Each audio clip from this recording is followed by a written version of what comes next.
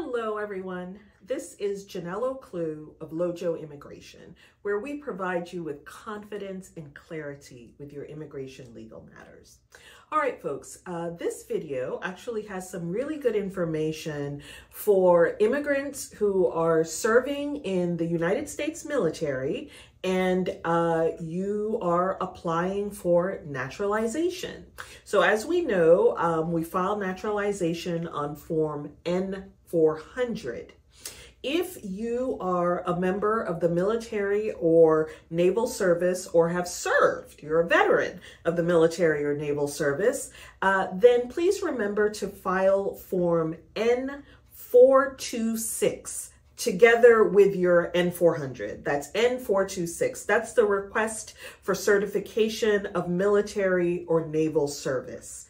Now, let me give you a very important tip about your N426, and that is that USCIS has what is basically a no blank spaces policy. That means you can't skip any of uh, the the the questions uh, on the form. You can't just leave um, blank spaces on the form. You need to answer all the questions on the form N426. Now, there might be some information that you don't have.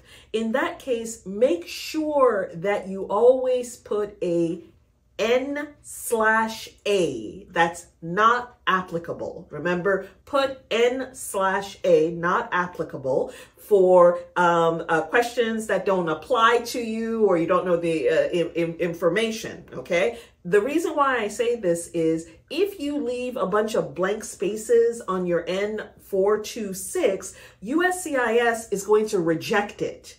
And that is going to cause several weeks if not months, delay with your naturalization process. So remember to include a form N26, N426 uh, with your application to naturalize. And remember that you need to uh, respond to all the questions or put a NA, not applicable. Okay, so uh, the, basically, I, I, uh, the only um, question on there that you can leave blank, I believe, is your A number if you don't have um, a number, an A number. Um, also, uh, the form asks you for your DOD ID number.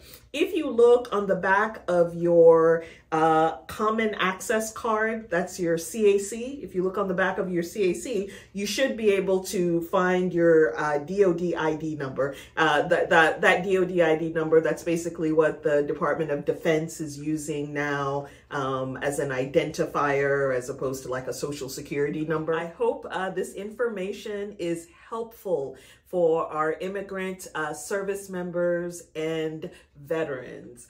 Thank you again for your service to the United States of America, and I wish you all the best in your naturalization uh, journey as you uh, become American citizens. Thank you so much for watching. Bye.